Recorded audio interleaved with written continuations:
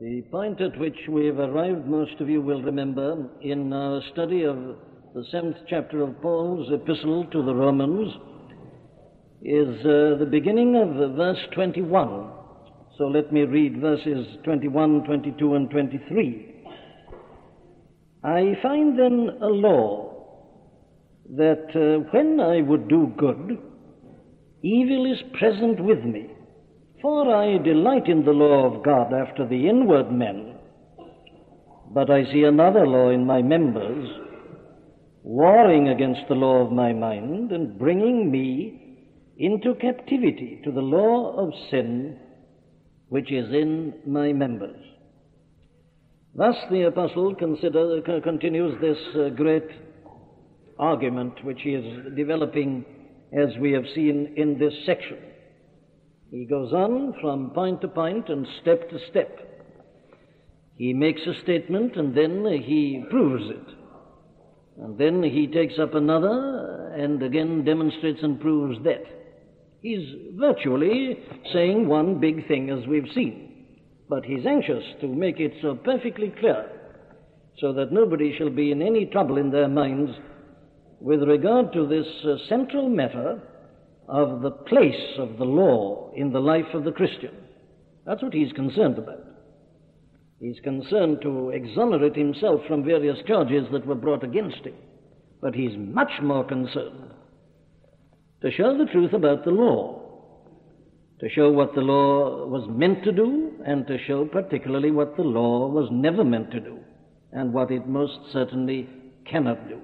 That I keep on reminding you as we start each time, is the real theme here. What the law could not do. And his point is that in showing that, he's not in any way derogating from the greatness of the law. He really is saying the truth about the law, but showing what it was designed and meant to do. Very well, we come to this particular statement which he makes in verse 21. I find then a law that when I would do good, evil is present with me. Now, obviously, here in this statement, he is, in a sense, summing up what he's just been saying. The word then tells us that. I find them. Very well, he seems to say. This is uh, what I find. This is my experience. This is what I have discovered. So, in a way, it is a summing up of uh, what he has been saying in the previous verses. And at the same time, he is repeating one of his general statements, which he's already made, for instance, in uh, verse uh, 14 and 15. For I know that the law is spiritual, but I am carnal, sold under sin, and so on. But I think it's interesting to notice that it isn't just a repetition. The apostle never merely repeats what he'd been saying. He does re emphasize, but generally you'll find that there's a, a, shade of difference, that there is a slight difference. And the difference here is this. What he was concerned to show to us in the previous three verses, 18, 19, and 20, as we saw last week, his main thrust there is to explain why it is that he performs evil acts, though he doesn't want to do so. Now, what he's doing particularly in these verses that we're looking at tonight is this. He is showing why it is that he fails to do what he wants to do. You see, there are two things that are wrong with him. Two things wrong with this man. He does what he doesn't want to do. But he also fails to do what he wants to do. That's the dual aspect, you remember, of his problem. Now, in the previous verses, he was mainly concerned with showing why it was that he does uh, the evil that he would not do. And he says he comes to this conclusion that it is no more he that's doing it, but sin that dwells in him. Now then, he now takes up the other side. Why is it that he uh, cannot do what he really wants to do? That's what, that's what he's dealing with here. And this is what he tells us about it. Now he says, the conclusion I've come to is this. This is uh, what I find. I find then a law. Now then, we must stop at once. Actually, what the apostle wrote was, I find the law, the law. Not a law, but he finds uh, the law. Now, what does he mean by the law here? He's been talking about the law uh, before, as we know. He says, We know that the law is spiritual, but I am carnal, uh, sold under sin. If then I do that, I would not I consent unto the law that it is good. Is he here talking about that same law? Well, obviously he isn't. He's no longer talking here about the law of God. Indeed, I can prove that to you very simply. This isn't a matter of opinion, this is really something that can be proved. If you look at verse 22, you'll find he says this For I delight in the law of God after the inward man. Now, why does he suddenly call it there the law of God? So far, he's been referring to it as the law. We know that the law is spiritual, but I am carnal, sold under sin. If then I do that, I would not I consent unto the law. He doesn't say the law of God in those two instances. Why? Well, because hitherto he has only been talking about the law of God. But here in verse 21, he's talking about another kind of law, some other law. So then, when he comes back to the law of God, he has to make it clear to us what he's talking about. And therefore he says, For I delight in the law of God after the inward man. That's his way of telling us that in verse 21, he was not talking about the law of God. It's a very important point for us to remember, because we will find that he again uses this term law in still another sense. But there should be no trouble about it if you only pay careful attention to the way in which the apostle does it. It isn't then the law of God. Neither would I indicate is he referring here to the law of sin that dwells in him. I refer to that simply because uh, Robert Haldane, in some to me inexplicable manner, says that that is what this word law means here. That he finds the law of sin within himself, which works out like this that when he would do good, evil is present with him. I suggest that he is not saying that.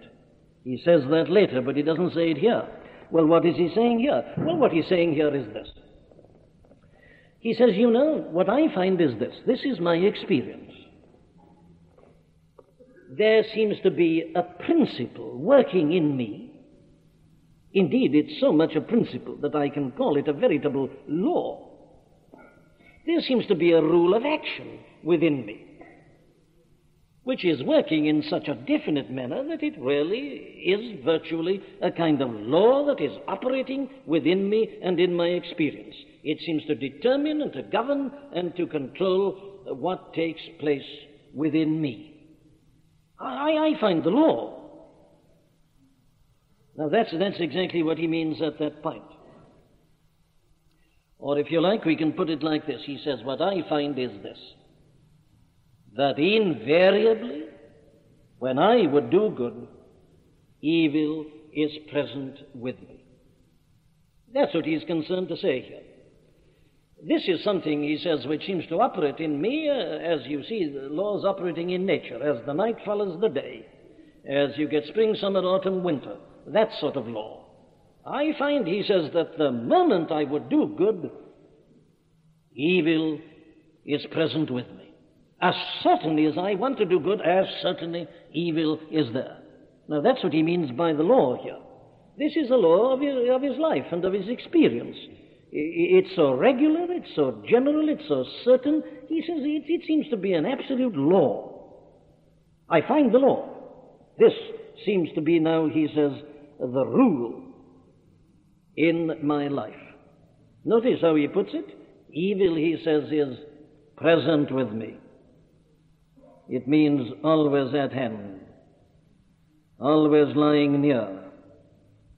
Whenever I will to do good, evil is always there, always asserting itself, jumping forward. The moment I act with, with this mind of mine, evil jumps in, persistent in its opposition, never absent. It's an absolute law. I don't know any exceptions to this, he says. The moment I will to do good, evil's there. That's what he's saying. Now, that is the essence of this important statement in verse 21. Now then, verses 22 and 23 are just an exposition of that. You remember we found that verses uh, 18, 19, and 20 were an exposition of verse 17.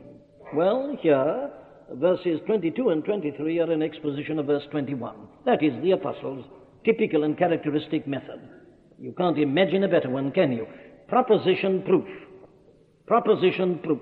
And on he goes, advancing the whole argument. Well, now then, let's, let's see what he's got to say. For, he says, letting us know that he's going to explain it. For. This is what it comes to in practice. I delight in the law of God after the inward man. Now, here is a very significant statement again. Take, uh, first of all, this word delight. You notice that there is a, a progression in the statements that he makes about the law. He started off in verse 14 by saying, We know that the law is spiritual. In verse 16, he says, I consent unto the law, the law that it is good. But now he goes beyond that. He says, I delight in it. This is stronger. This is taking it further. He, he means by that uh, not that he just uh, agrees with the law, or that the law is itself uh, uh, spiritual and good and uh, carries his consent and his approbation. No, no, he says, I, I, I rejoice in the law of God. I exult in the law of God. He's taken it further. It's a very strong statement. It's the he undoubtedly had in his mind here what the psalmist tells us in the first psalm about the good men whose delight is in the law of the Lord, in the law of God. You remember that statement about the good men there in the first psalm? Well, that's what he's saying. Uh, I uh, delight in the law of God after the inward men. Now then, here we come to a most important term the inward men. This plays a very great part in the discussion about the exact interpretation of this passage. And uh, those who hold the traditional Reformed view have to lean very heavily upon this in their endeavor to prove that this is the regenerate man even at his very best. Uh, so they say that the inward man means the regenerate man, the new man, the new nature that is in this uh, saved person. But it seems to me that it doesn't follow at all of necessity that this is a reference uh, to the new man that is in the believer. Because I want to put it to you that the apostle himself tells us what he means by the inward man in the next verse. Verse 23. Listen. For I delight in the law of God after the inward man, but I see another law in my members, warring against the law of my mind. Now then, there you see is a further explanation of what he means by the inward men. The inward man is surely synonymous with the mind. I delight in the law of God after the inward man. Then he puts that in verse 23 by saying, uh, what is in the law of my mind? Yes, there's something against that. That's what he's concerned about. So the inward man, I deduce, is the mind, the understanding, the place of reason, the place where one is able to grasp the truth. I don't say for a moment that he's referring to that in the natural man, because we've seen so constantly, as we shall see here, that this cannot be a description of the unregenerate man. I mean a mind illuminated by the Holy Spirit. But I cannot see that we are entitled to claim more for this term than just that. I'm arguing that the reference to the mind, the law of the mind, in verse 23, gives us a definition of what the inward man is in verse 22. And of course, especially when you see that he contrasts the inward man with the members. What do the members mean? Well, we've already discussed that several times in chapter 6. The members stands for the bodily organs. Uh, the, the, that part of man through which he normally expresses himself and uh, functions in his general life in this world. So the contrast is quite obvious. The parts of us with which we normally sin are the parts that we can see. The eye and various other parts, organs of the body. That's the outward men. What's the inward men? Well, it's the part of men that you can't see. You can't see a man thinking. You can't see a man's mind. You can see his brain, but you can't see his mind. That's why he calls it the inward men, as distinct from this outward men that is visible, uh, entirely or partially. And surely, therefore, there is no trouble about the meaning of the term the inward man. It is that hidden man of the heart, if you like. It, it is that part of men which is not visible. It includes the soul, of course. You can't see the soul. I think I've quoted you before that foolish statement by that great anatomist, Sir Arthur Keith. Extraordinary how a great man could make such a statement. He said he had been an anatomist for so many years and had dissected so many bodies, he had never yet discovered in all his dissections a body, uh, an organ called the soul. Of course he couldn't. It's a part of the inward man. It's not visible. It's not outward and visible, it's invisible. But it's as real and more real than the things that you can see. It goes on with the bodies rotting in the grave. The inward man. I say the inward man stands for that invisible part of man, the most vital part of man, soul, spirit, and so on, and including the mind, which is often used interchangeably with the spirit. Take, for instance, how the apostle puts it in 2 Corinthians 4:16. He says, "Though our outward men perish," now, and he's referring to his body. He suffered a lot from sickness and illness. He suffered from weariness of the body. His outward man was decaying and dissolving. Though our outward men perish, yet the inward man is renewed day by day. It's the same big general contrast. And therefore it seems to me that we have no right to press this term, the inward men, any distance whatsoever beyond this general reference to that part of men that is illuminated by the Spirit, the mind, the understanding, that part of men which eventually comes to see the truth as it is in Christ Jesus fully.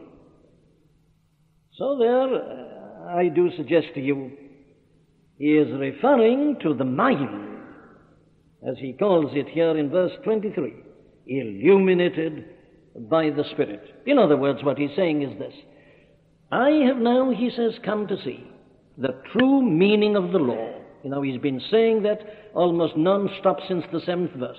There was a time when he didn't. He now has come to see it. The Holy Spirit has come upon him. The law has come. And he's seen it. He, the sin revived, he died. Yes, but the law has come. He understands now. He sees that the law is spiritual, that it is just and right and good, that it is holy, and all these other things that he says, even to the extent of saying that he rejoices in it. Very well.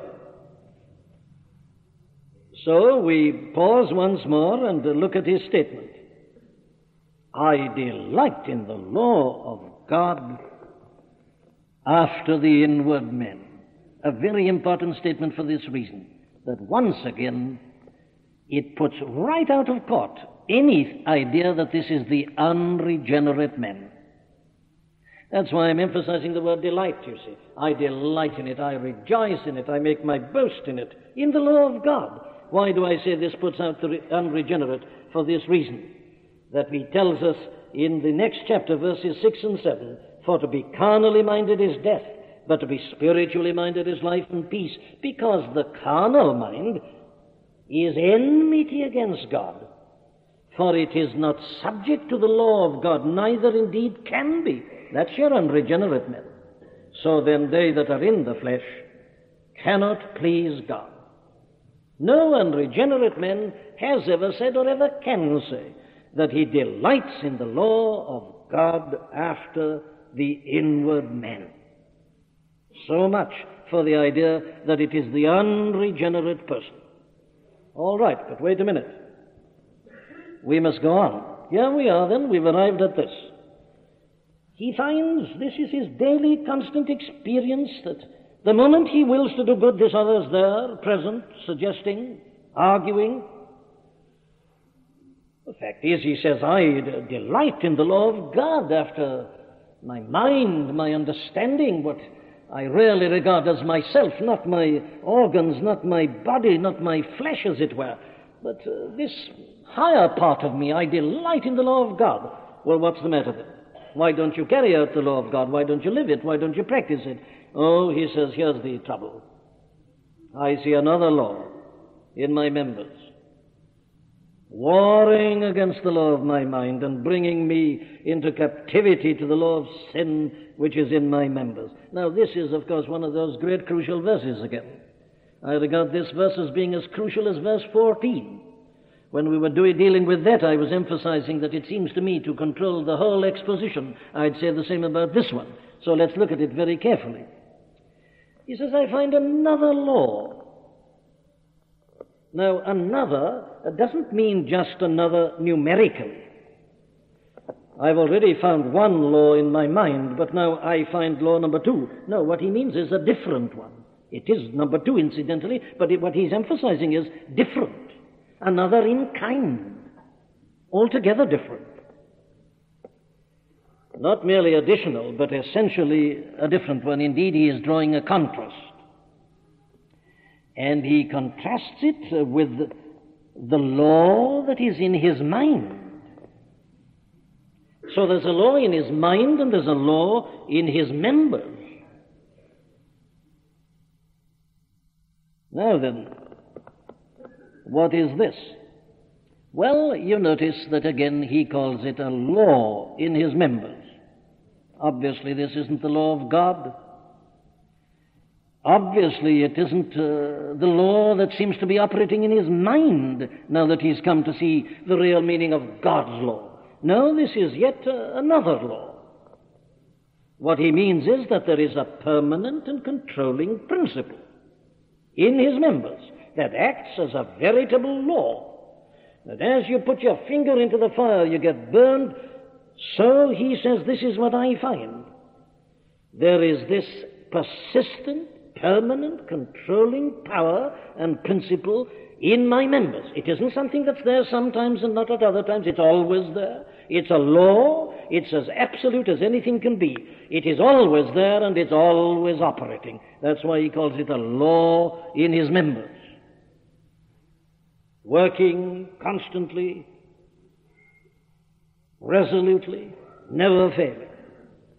What does he mean by members? Well, we've already looked at that, haven't we? It's still the same as members in the whole of chapter 6. It is that which he contrasts, I would remind you again, with the mind. That's the way he looks at men, you see, at this point. Here is man in his mind, yes, and here's the rest of him bodily organs and appetites and all the rest of it. Now, there's a law in the mind, but yes, but there's a law in this other part also. What does this other law do? Well, he tells us very plainly. It wars against the law of his mind. That's the first thing it does. Now, this word war is a very interesting one. I find another law in my members warring against. It means serving in a military campaign against. That's the original meaning. It, it, it comes from the word from which our word strategy comes. And it's a very good way of looking at it, isn't it? Here he is with his mind, you see, delighting in the law of God. Yes, but there's another law operating in his members, and it's got a fiendish, devilish strategy. It's always fighting, it's watch, watching the moves of the other, and it's countering every move. Strategy. Serving in a kind of military campaign. What he means, of course, is this that as certainly as he delights in the law of God with his mind and wants to do it, then this other law that is in the members, it begins to urge the opposite and puts it in an attractive form, dictates to him what he should do.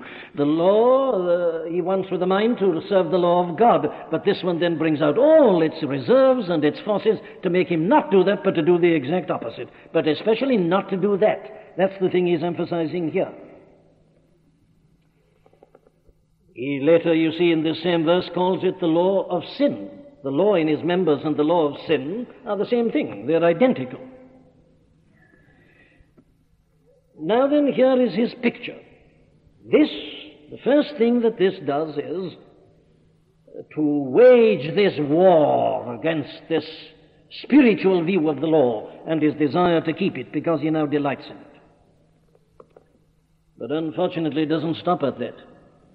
That would be bad enough.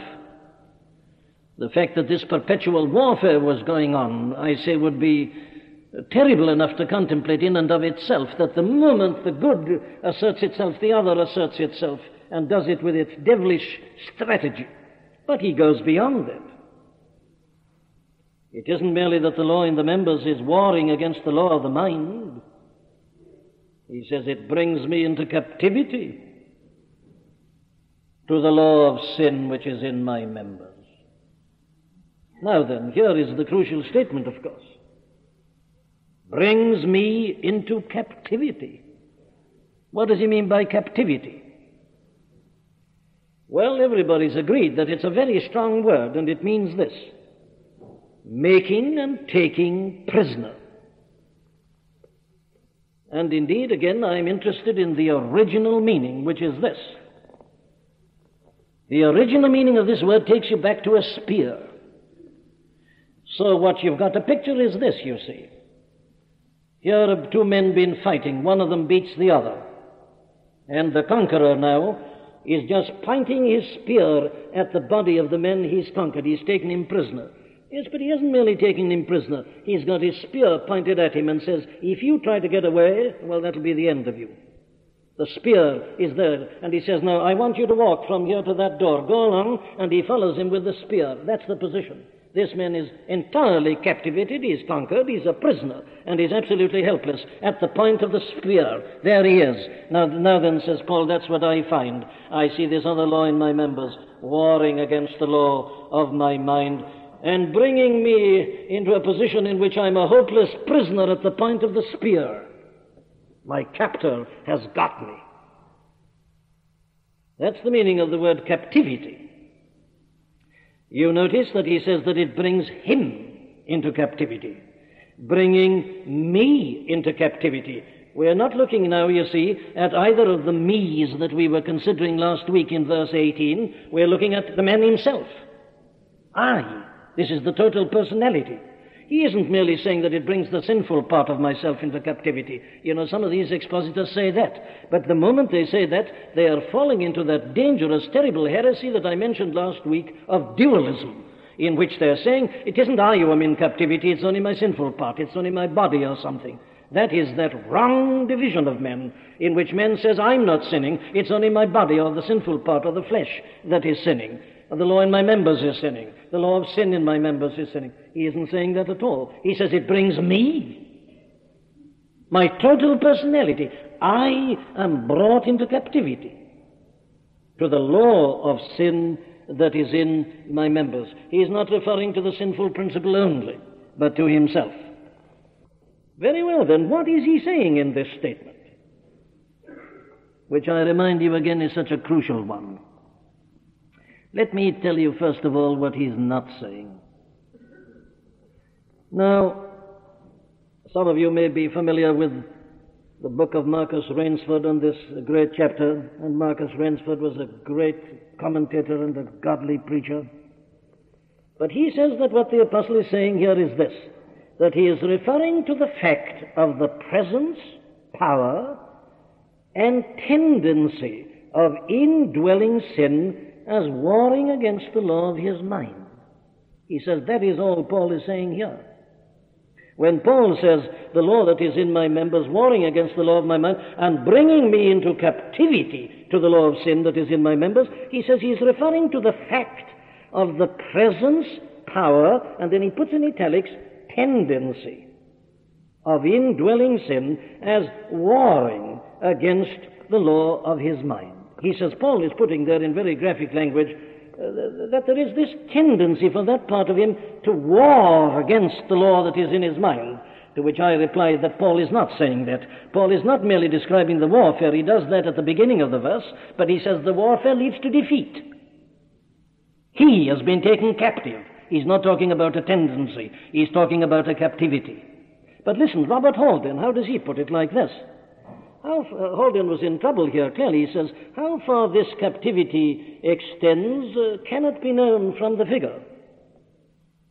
All right, I'll agree with that, but I regard it as significant that he should have had to say that. He says, if the evil principle of our nature uh, prevails in exciting one evil thought, it has taken us captive. So far it has conquered, and so far are we defeated and made prisoners. Then he goes on to say this, but this is quite consistent with the supposition that on the whole we may have the victory over sins. So that what Paul is saying here is this. If you do uh, commit one sin, you have been taken prisoner and made captive by sin. But uh, on the whole, we may have the victory over sins. He says that that is what Paul is saying here.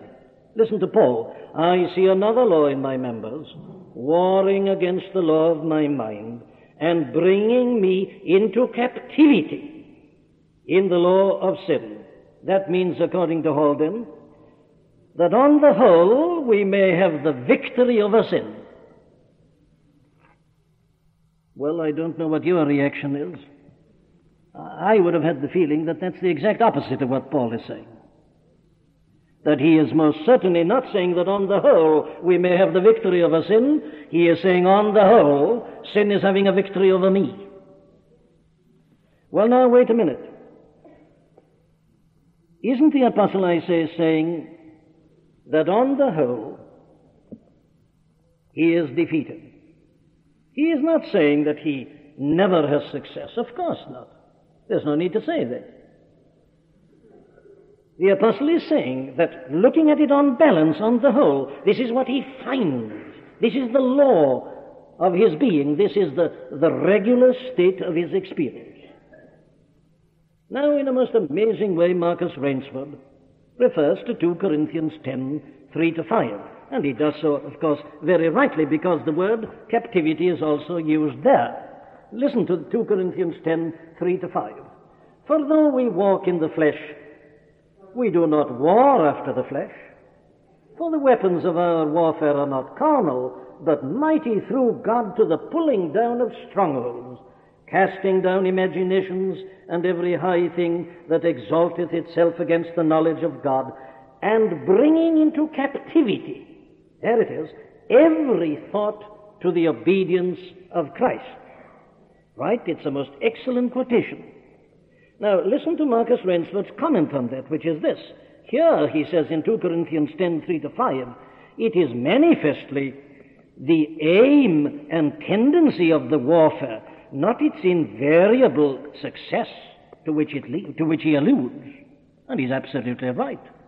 Paul is not saying in 2 Corinthians 10 3 to 5 that every thought is always and invariably brought into captivity to the, to, to the obedience of Christ. He couldn't possibly say that, otherwise he'd be sinless and perfect. But what he is saying is this. He says, as Marcus Rainsford points out, this is the tendency this is my prevailing position now. Though I'm in the flesh, I don't war after the flesh. No, no, I am warring after the Spirit. And this is the truth about me now, speaking generally, that I bring every thought into captivity to the obedience of Christ. He may fail occasionally, but speaking generally, this is the tendency, as Marcus Rainsford uh, says so excellently. Yes, but uh, Dr. Marcus Rainsford, seems to forget that if you say that so strongly about 2 Corinthians 10 3 to 5, you must say the same thing about uh, Romans uh, 7 uh, 23. It's he himself who's quoted it. He says now what Paul is talking about, not the invariable rule, but the general tendency. There may be occasional failures. All right, let's apply that to our passage this evening. 2 Corinthians 10 3 to 5. The prevailing condition is that every thought is brought into captivity to the obedience of Christ. Occasional failure. That's the general rule. Now then, let's take all that and take it back here to Romans 7. I see then another law in my members, warring against the law of my mind, and bringing me into captivity to the law of sin which is in my members. What's he talking about? The general tendency. Exactly the same. The general tendency. That is what is gen- not invariably true, as the other was not invariably true.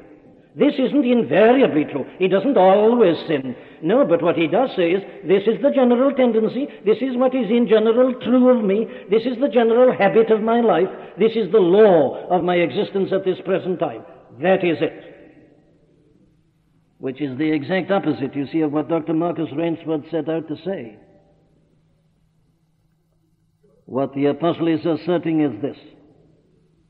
Not merely that a fight is going on within him, that's the first part of verse 23. He tells us about the result of the fight, the outcome of the fight. And the outcome of the fight is, as I'm trying to indicate to you, that he finds in general that he is in captivity. He fails. The law that is in the members is too strong for the other law. That's what he's setting out to say. I find then a law that when I would do good, evil is present with me. Though I delight in this law of God after the inward man, this other law keeps on coming in and brings me into captivity to the law of sin that is in my members. Do you require proof of this exposition? Well, you simply go on to the next verse. If Paul is here saying that on the whole he is able to live the Christian life, and that on the whole we may have victory over sin, why in the name of conscience, I ask, does he go on to say, Oh, wretched man that I am? The thing is meaningless. It is senseless. What makes him say, Oh, wretched man that I am? Is the persistence of defeat, is the feeling that he's down rather than up, that it's failure rather than success. I cannot see how any other exposition of verse 23 can possibly lead us to verse 24. If he is merely describing the fact that there is a conflict in the life of the believer in verse 23, that doesn't lead him to say, Oh, wretched men. No, no, there is nothing that leads to this except defeat, failure. What does wretched mean? Well, it's a cry of anguish, it's a cry of hopelessness. There is a tinge of despair in it. The very word means this and this isn't my opinion, this is what all the lexicons will tell you. Wretched means exhausted as the result of hard labor. He's been striving and striving until he's weary and tired out and wailing. And so he cries out like this, Oh, wretched men that I am. He's not merely saying that because there is this other part in me. No, I myself am wretched. And then he cries out, saying, Who shall deliver me? Now, in a most amazing way, again, Robert Haldane says at this point that this shall refers entirely to the future. He emphasizes the shall. Meaning this, says Haldane, that he knows that nobody can do it now, but that it is going to happen. He says this is the Christian man at his best. He knows that he'll never be delivered while he's in this life and in this world, but he knows that at the end, in death, Christ will finally deliver him out of the body and its thraldom, and he'll have the glorified body. Shall, he says, is entirely future. Such, I think, is the position in which you inevitably find yourself if you've started in the wrong way in your interpretation of this passage. This isn't some reference to some remote distant future. Here is a man in anguish, in failure and exhaustion says, Who will deliver me? Who can deliver me? That's what he's saying. That's a part of the very question. He's not a man making a pronouncement about what's going to happen. He's crying out in despair for deliverance the body of death. We needn't stay with this. This is the same as the law of sin in my members, the thing he's just been talking about. At the end of verse 23, he says, This is the trouble, that this other law in my members is bringing me into captivity to this law of sin that's in my members. Who shall deliver me from this law of sin that is in my members, which he calls this body of sin, this body of death? It all hangs in together. He wants deliverance from this part of himself that is opposed to the inner man, opposed to the law of the mind. And he wants to be uh, delivered. What is this thing? Well, I want to quote you Marcus Rainsford again because it helps to bring out the positive exposition. He says it means this that Paul was really saying, Oh, wretched man that I am, to have anything in me contrary to my God, contrary to his Christ, contrary to his cross, contrary to his spirit, contrary to his will. That's what it means, he says. Here's the fully regenerate man. And you see, he finds that the mere fact that there is anything in him contrary to my God, contrary to his Christ, contrary to his cross, contrary to his spirit, contrary to his will. To which the only reply I would make is this. Does a man who knows Christ, does a man who knows about the cross, does a man who knows about the Spirit simply cry out saying, Who shall deliver me? Does he use this indefinite term, who? No, no. The man Paul's talking about is a man who doesn't know yet. All he knows is that he can't deliver himself. His knowledge of the law can't help him. He, he delights in it, but still it's of no value. This other law is too much. He says, Who can? I can't.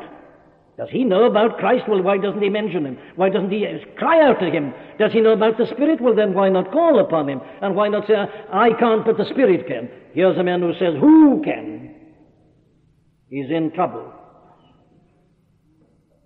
He is in a desperate plight and in a desperate position. Surely all these statements go together, they hang together. Each one comes out of the other. This man is wretched, conscious of complete failure, aware that there is this other power in his members that he cannot master, but it's mastering him. It's always taking him into captivity. And he cries out in his anguish, Oh, wretched man that I am! Who shall deliver me? He is not bemoaning the fact that there's anything in him contrary to his God, his Christ, the cross, the Spirit. They're not mentioned here at all. You see, on that other exposition, you have to import all that. But it's not here. Not here at all. It's in the next chapter in great profusion, but not here. And yet we are concerned about the man who's here. This is the man we are dealing with. The man who is in a position that he simply can cry out, Who can, shall, will deliver me? There he is. What astounds me is that our good friends, these great men, because of a controlling theory with which they began, can allow themselves to have to resort to these devious ways of attempting an exposition.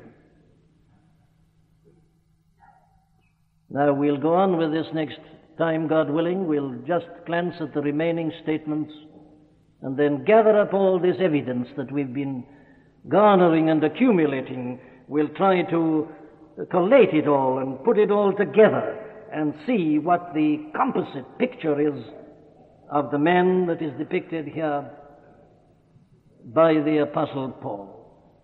We have seen one thing very clearly, I think, and that is it is not the unregenerate man. We've seen another thing equally clearly that it is a man who has come to see the spiritual nature and character of the law. We leave it at that for this evening. Let us pray.